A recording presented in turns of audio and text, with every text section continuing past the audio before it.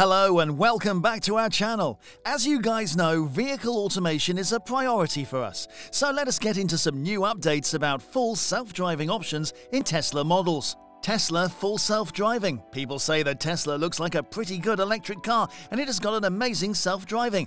Let's go and get one. Hold your horses while we explain what their self-driving really does, how to get it and what it costs.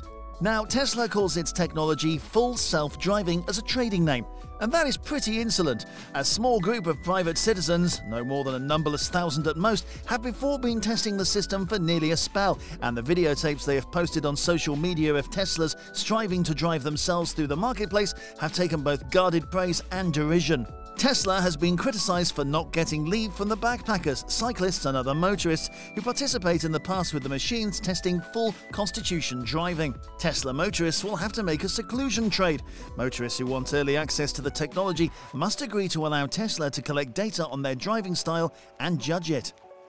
Tesla claimed in 2016 that all of its new vehicles had the capability for full character driving and that it would soon offer the correlative software to make the automobiles drive themselves. As we talk about full self-driving, in reality, it is not full self-driving.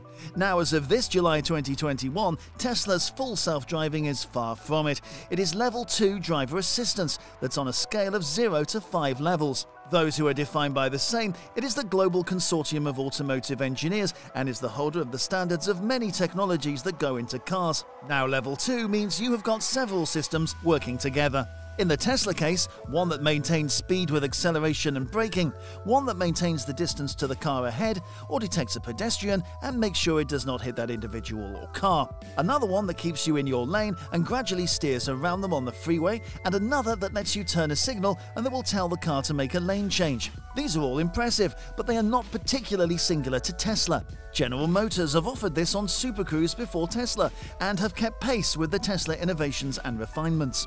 So you guys need to realize that Tesla is full self-driving. There is not this thing that's apart from the rest of the industry.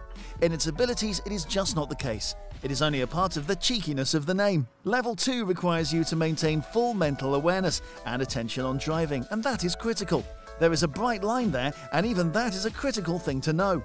Today's driver automation technology can only save you muscle effort, not a mental effort, at least if you're using it properly.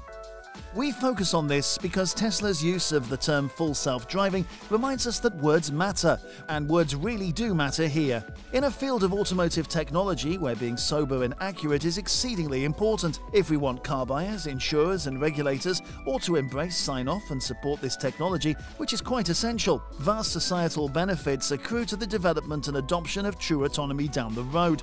But we need to slow that progress, not advance it by over promising and over marketing what we have available available today.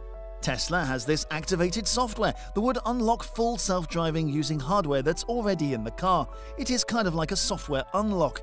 Maybe you might buy a basic version of a program, and then if you want the pro version, you pay a fee and it unlocks features. They were already on your machine, but it just wasn't allowing you to use that code. But in this case, you are accessing code and hardware in the car, you just have to pay to do so.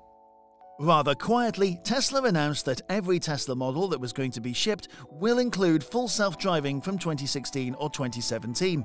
Apparently, that is not quite the case. There is a hardware upgrade that many owners of current models are going to have to pony up for 150 additional dollars to get the full self driving to unlock to work. So, Tesla full self driving is not full self driving. It is level 2 automation, and it is very much common with a few other automakers who have got similarly ambitious systems. The future of personal vehicles will have some of the professionally optimized, efficient operations of public transport, combined with the flexibility of personal transportation that's always ready to solve our needs at a moment's notice. That is the focus for tomorrow. To get there, we do need automation, whether it is ever going to be level 5 or maybe it could be days away. Thank you for watching the video. To know more, stay tuned. Just go and subscribe to our channel. Do not forget to press the bell icon.